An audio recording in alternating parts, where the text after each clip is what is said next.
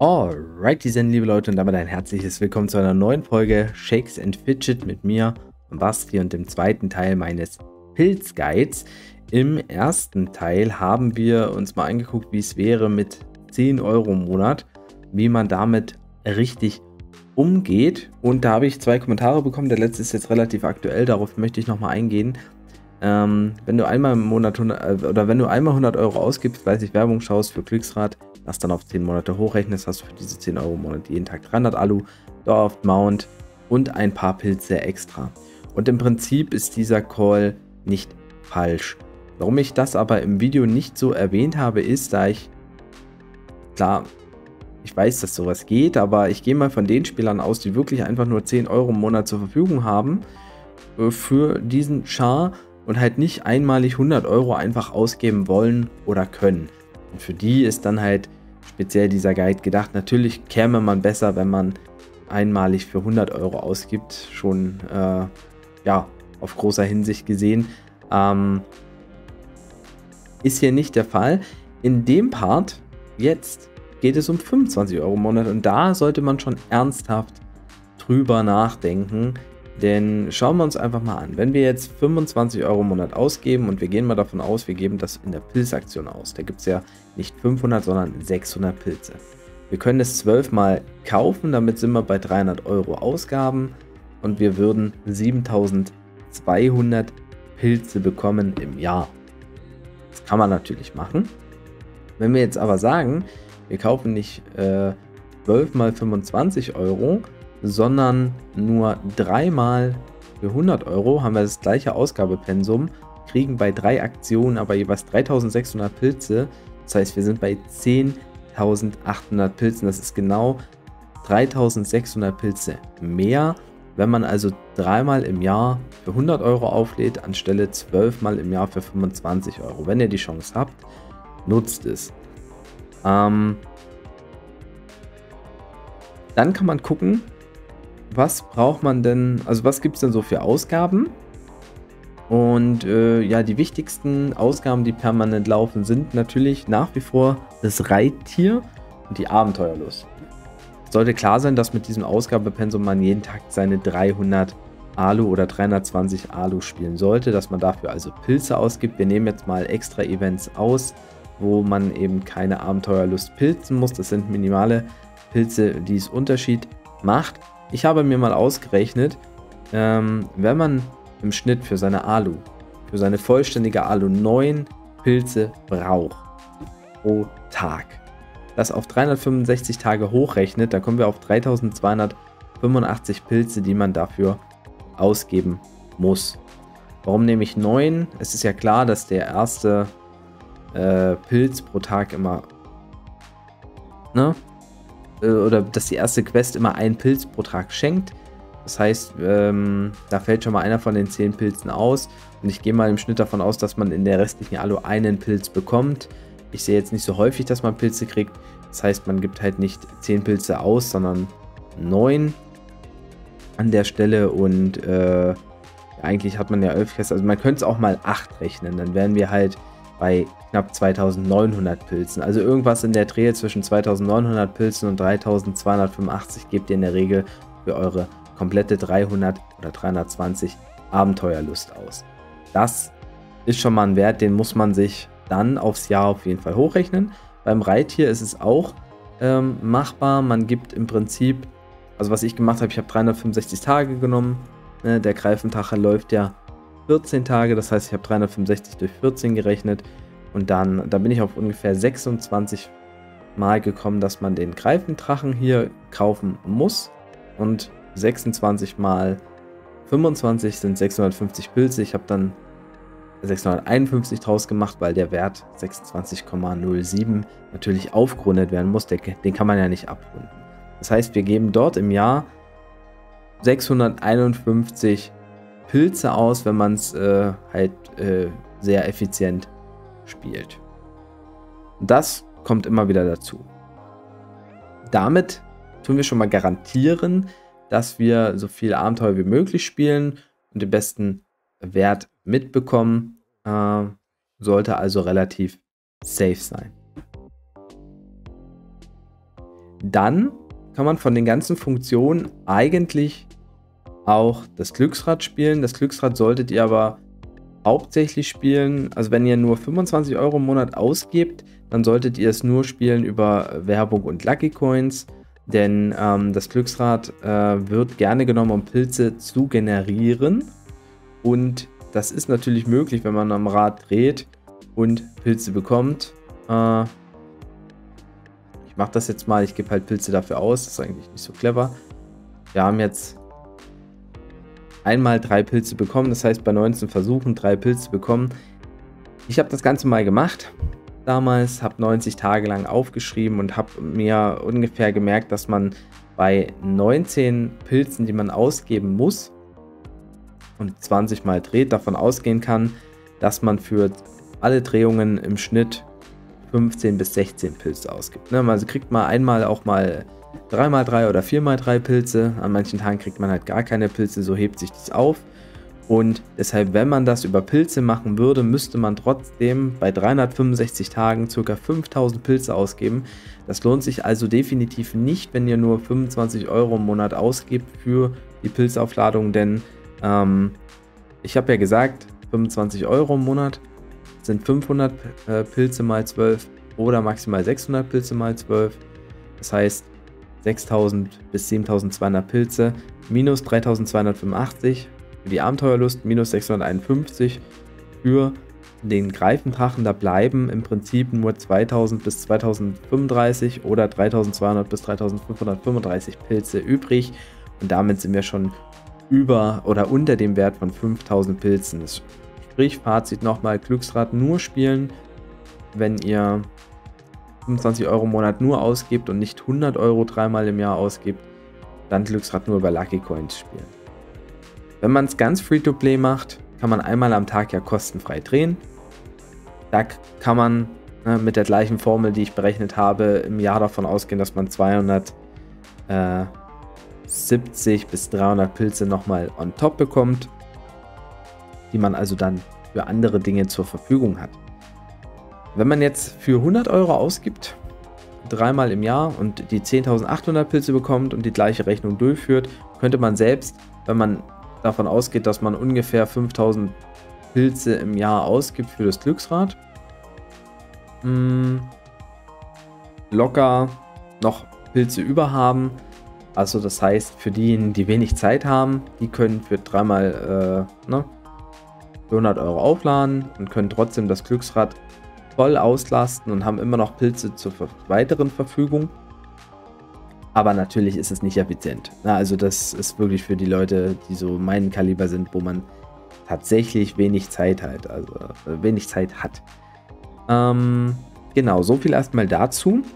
Äh, weitere äh, Ausgaben, die es gibt, sind im Schnitt einmalig, zum Beispiel die Gildenausbauten, wenn ich mich nicht ganz irre, ich habe es halt hier leider nicht mehr im Kopf, äh, gibt man maximal 50 Pilze pro Skill aus, äh, wenn man auf Stufe 10 zumindest kalkuliert, weil die ersten sind ohne Pilze kaufbar und ich glaube danach kostet jedes 10 Pilze. Kann aber auch sein, dass es 2, 4, 6, 8, 10 Pilze sind, wäre es sogar noch weniger. Das sind aber einmalige Ausgaben, also zwischen 50 und 100 Pilzen für die Ausbauten. Und das Gildenpad da gibt man äh, für fünf Pet-Stufen zwei Pilze weitestgehend aus. Das heißt, hier in dem Falle ähm, ja, sind wir auch noch nicht mal bei 100 Pilzen angelangt auf diesem Server für das Gildenpad. Das sind also einmalige Ausgaben, die aber auch sehr gering sind. Das würde jeder Spielertyp schaffen und hat dann immer noch Pilze über. Im besten Falle hätte man bei der 100 Euro Aufladen-Variante knapp 6800 bis 7000 Pilze im Jahr zur Verfügung. Auf einen Monat runtergebrochen sind wir dann eben. Ja, hätte man 600 Pilze äh, im Monat zur Verfügung. Noch für andere Themen. Ja. Und da ist halt immer die Frage, wie spielt man, wie ist man drauf, wo steht man gerade im Progress.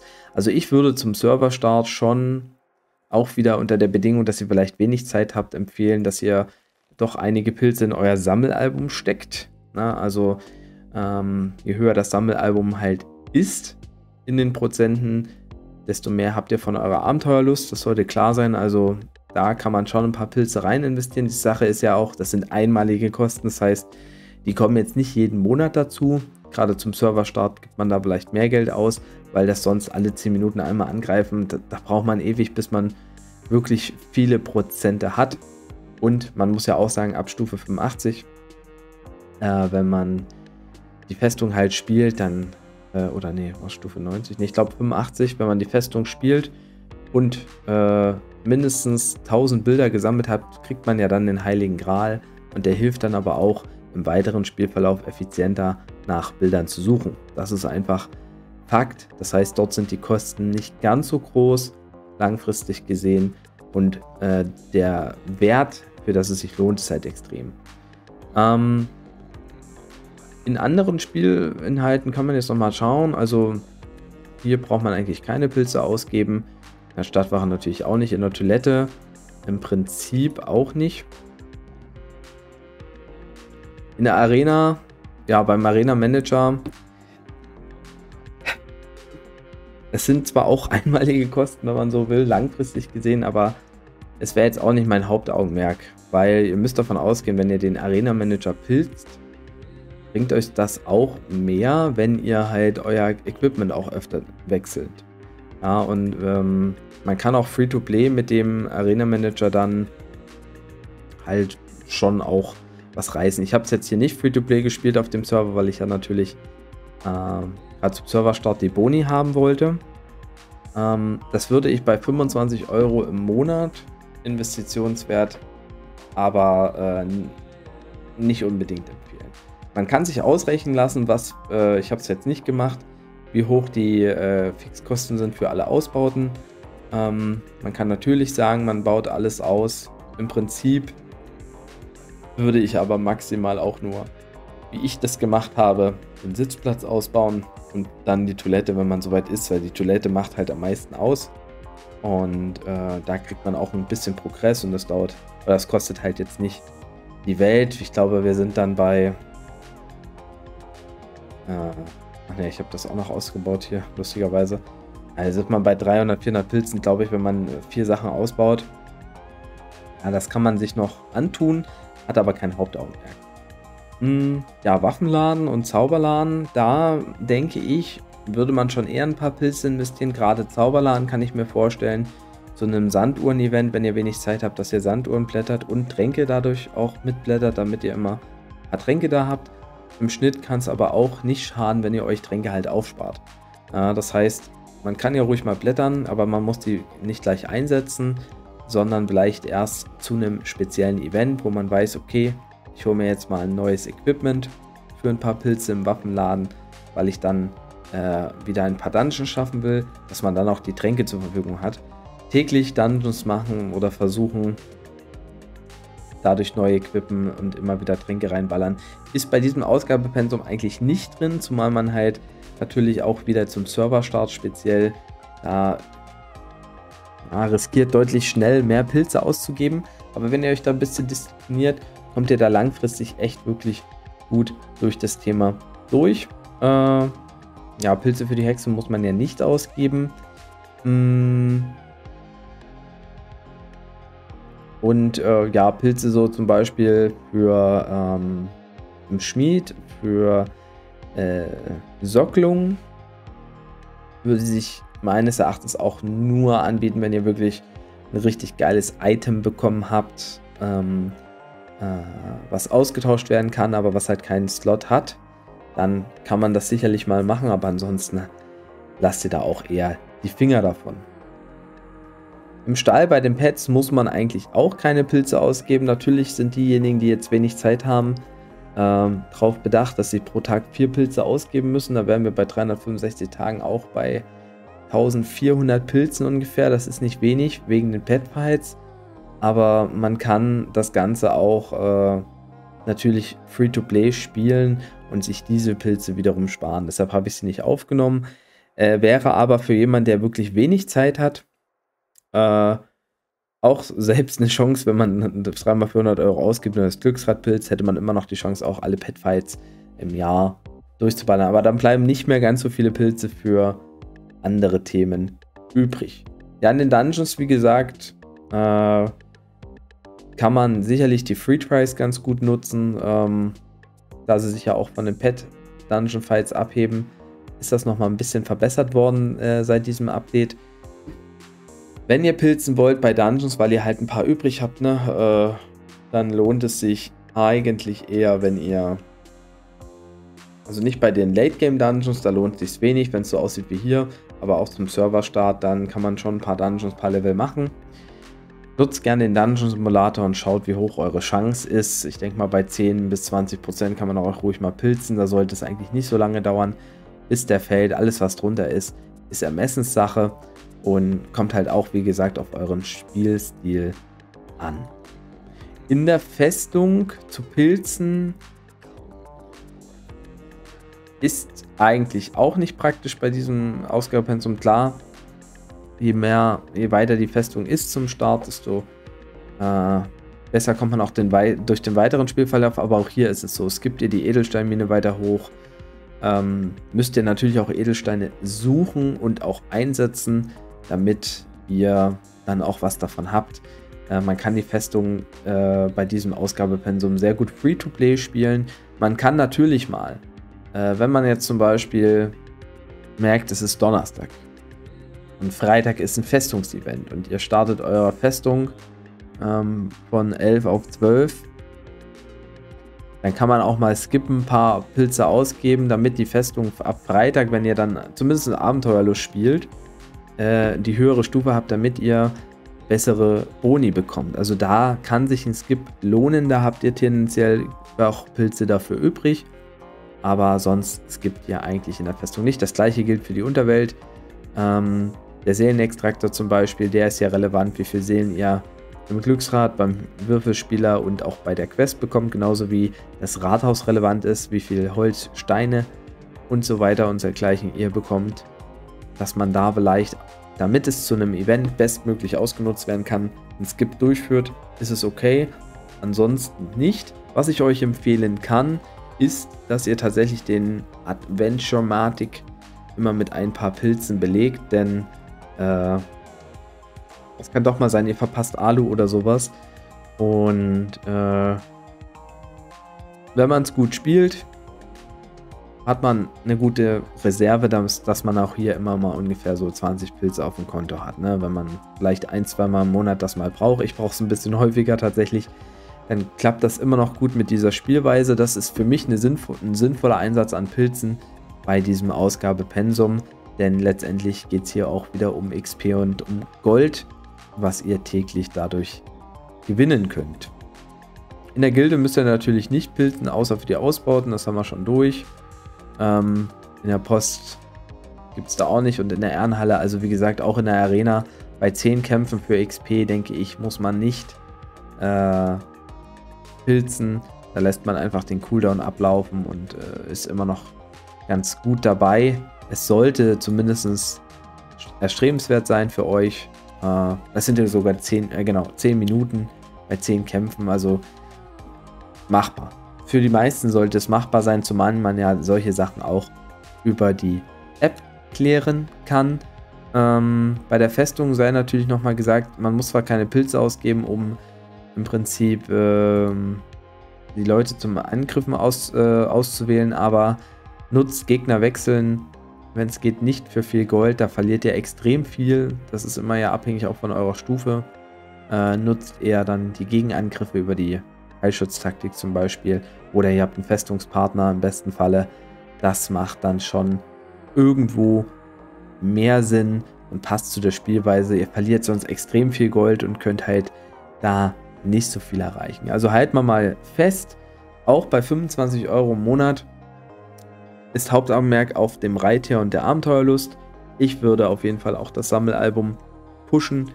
Äh, bis zum Heiligen Gral würde ich dort viele Pilze angeben. Und mit dem Heiligen Gral kann man dann natürlich auch über die kostenfreie Angriffe gehen, wenn man weiß, dass ein Spieler halt. Na, hier ist es schwierig auf dem Server. Ich gehe mal auf den Speed-Server. Da sieht man das vielleicht nochmal ein bisschen besser. Na, auf dem Speed-Server habe ich jetzt auch 1400 Bilder, habe natürlich auch schon lange den Heiligen Gral. Und ähm, Hier muss man halt nicht mehr random angreifen, sondern man sucht sich dann halt einen Spieler aus, wo vielleicht zwei, drei Bildchen äh, blinken und dann nutzt man seinen Free Try und kriegt auch gute Prozente. Also damit habe ich jetzt auch relativ günstig gespielt und bin von 50% SA auf 65% SA gekommen. Und ja, irgendwann muss man natürlich die Leute angreifen, wo nur noch ein Bildchen blinkt. Hier blinken jetzt zwei. Deshalb nehme ich den jetzt hier einfach. Ähm, das Glücksrad, je nachdem wie viel ihr Zeit habt. Wenn ihr Pilze generieren wollt, solltet ihr natürlich keine Pilze dafür ausgeben. Wenn ihr wenig Zeit habt und ihr wollt die Ressourcen farmen, dann gebt die Pilze aus. Aber auch da muss man ja auch gucken, die Ressourcen zu farmen macht nur Sinn, wenn ihr sie auch einsetzen könnt. Da werdet ihr Free-to-Play irgendwann auch äh, zu dem Punkt kommen, wo ihr das Glücksrad nicht mehr täglich nutzen müsst äh, auf voller Drehbasis. Spart euch dann die Pilze vielleicht lieber mal auf, um Tränke zu haben für einen Gildenkampf oder dergleichen. Ach, guck mal, noch einen neuen Dungeon bekommen auf dem Speed-Server. Nice, sehr gut, sehr gut, sehr gut. Sehr gut, sehr gut. Da kann es hier weitergehen. Mmh. Ja. Gildenpad und die Gildenausbauten auf jeden Fall. Hier bis. Ah, hier, wir sehen es gerade. Ach, gutes Beispiel. Äh, dann sind es 2, 4, 6, 8, 10 Pilze, 18, 20, 30 Pilze. Also ihr müsst 60 Pilze für die Ausbauten ausgeben. Und beim Gildenpad, wie gesagt, je nachdem wie lange der Server ist, gibt ihr auch nicht viel aus. Also das macht auf jeden Fall auch, das macht Sinn. Und äh, was ich natürlich noch sagen kann, äh, nichtsdestotrotz kann es sich lohnen, ähm, dieses Paket hier zu holen. Dann, ja? Also selbst wenn ihr nur 25 Euro im Monat ausgibt, gibt das Special-Paket aus. Und wenn ihr natürlich 100 Euro dann im Monat habt, ähm, dann könnt ihr auch das Profi Pro Paket holen. Das bringt natürlich nochmal vieles extra mit. Mhm. Vor allen Dingen auch Sanduhren können immer sehr hilfreich sein, dass man eben nicht auf die Zeitmaschine unbedingt gleich angewiesen ist. Aber das ist wie gesagt immer Ermessenssache, da gibt es jetzt kein richtig und kein falsch. Der eine gibt mehr bei Dungeons aus, der andere schafft halt die Petfights nicht. Der dritte nutzt es halt fürs Glücksrad. Aber ähm, seid auf jeden Fall bedacht, dass ihr die Fixkosten auf jeden Fall decken könnt. Und dann ist das auch kein Problem. Und dann seid ihr auch mit dieser Spielweise auf jedem Server nach ein, zwei Jahren nicht schlecht dabei. Nicht an der Spitze, aber ihr seid auch nicht schlecht dabei. Wenn ihr auch noch eine gute Gilde habt, dann seid ihr konkurrenzfähig, definitiv. So, wenn ich was vergessen habe oder euch was einfällt, allgemein schreibt es mir gerne in die Kommentare. Ähm, bin ja immer sehr auf dem offenen Austausch auch bedacht zwischen euch und dann würde ich erstmal sagen, oder rein, tschüss und servus, euer Basti.